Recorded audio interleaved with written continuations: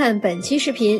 现如今，世界各地的交流都很密切，而我国作为文明古国，更是受到了很多外国人的喜爱。中国男性和美国男性有什么区别？美国妹子毫不避讳，真的是什么都敢说了。生活环境往往会影响一个人的性格，在不同国家受到不同的教育，更是会影响一个人的三观。据了解，以美国妹子说中国男性最大的优点，可能就是会照顾人了吧。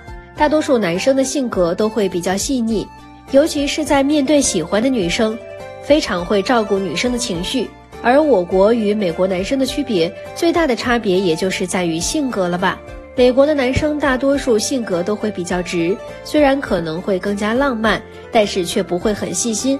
而中国男生相对来说比较羞涩，平时可能不会过多的去说自己的感情，但是大多数也会在日常的生活中表现出来，这也给了很多女生安全感。尤其是对于陌生人，我们也经常会伸出援手，这可能也是文化教育的差异吧。